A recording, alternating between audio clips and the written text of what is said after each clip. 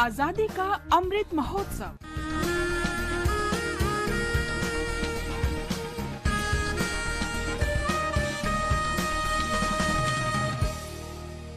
Azadi Ka Safar with AIR News, Birth of a Nation. India's glorious freedom struggle is one of the greatest struggles the modern world has ever witnessed. AIR News brings you a glimpse of the struggle every day. In today's episode, we remember revolutionary freedom fighter and founder of the Indian Independence League, Rash Behari Bose, who died on 21st January 1945.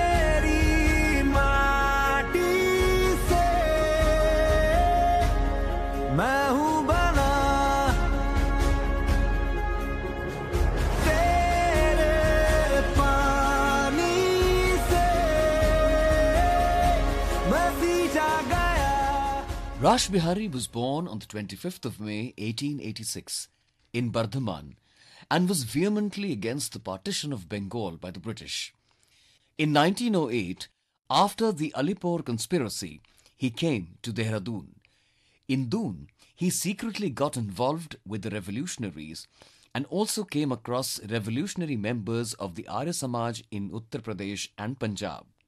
After the attack on Viceroy Hardinge in Delhi on the 23rd of December 1912, Rash Behari was declared wanted by the British.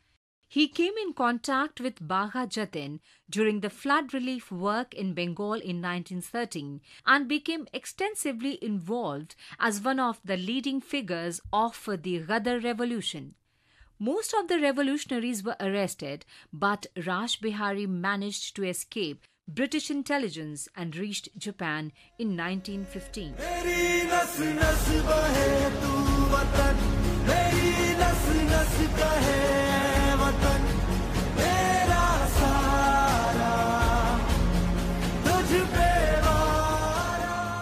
Bose, along with Ayyappan Pillai Madhavan Nair, was instrumental in persuading the Japanese authorities to support the Indian independence struggle abroad. In 1942, Bose convened a conference in Tokyo which decided to establish the Indian Independence League. At the League's second conference in Bangkok, a resolution was adopted to call upon Subhash Chandra Bose as the leader of the movement. I resign my office and appoint this Subhash Chandra Bose as President of the Indian Independence League. Now on, Subhash Chandra Bose is your President, leader in the fight for India's independence. The League exhorted the Indian prisoners of war taken by Japan during the Second World War to join the Indian National Army.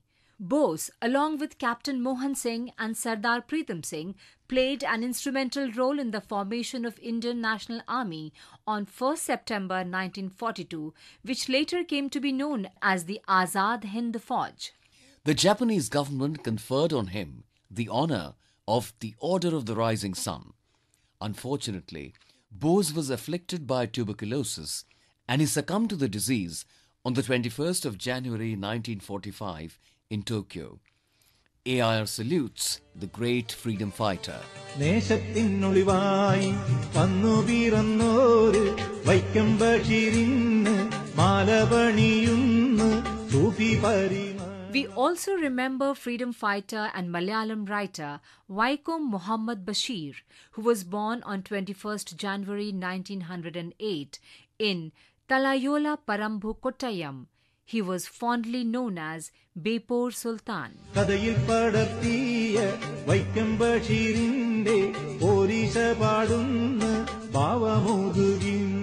From his childhood days, Basheer was attracted to Gandhian thoughts and ideologies. Basheer was arrested along with his group when he went to Malabar district to take part in the salt satyagraha in 1930. Basheer was sentenced to three months imprisonment and sent to Kannur prison. His release, along with 600 of his fellow prisoners, came in March 1931 following the Gandhi Irwin Pact. Once free, he organized an anti British movement and edited revolutionary journal Ujjivanam, because of which an arrest warrant was issued on him. He avoided arrest by embarking upon a long journey that took him across the length and breadth of India and many places in Asia and Africa for seven years. He was arrested at Kottayam in 1941 and was sentenced to two years and six months imprisonment. Basheer is noted for his path breaking, down to earth style of writing. Basheer was honored with the Padma Shri in 1982. He left for his heavenly abode on the 5th of July 1994. We salute the great patriot. That brings us to the end of this episode of Azadi Ka Safar with AIR News. See you in the next episode tomorrow.